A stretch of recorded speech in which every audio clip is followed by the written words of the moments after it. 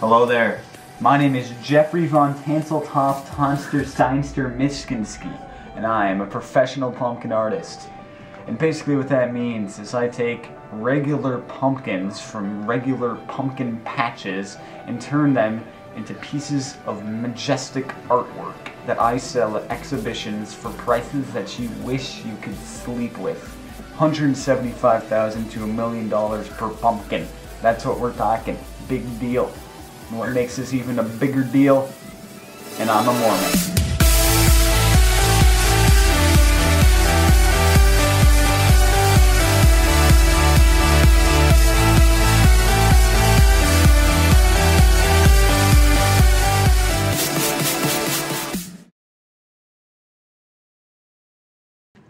Hello there. My name is Jeffrey von Tanseltoft Tonster Minshinsky, and I am a professional pumpkin artist. Basically, what that means is I take regularly pumpkin. Regularly? Is that even a fucking word?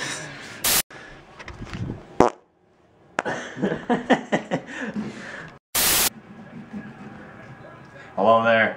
My name is Jeffrey von Tanseltoft Tonster Minshinsky, and I am a professional pumpkin artist. Basically, what that means is I take regularly. You did it again! Regularly? What am I doing? Okay, so. Get out of my house, bitch.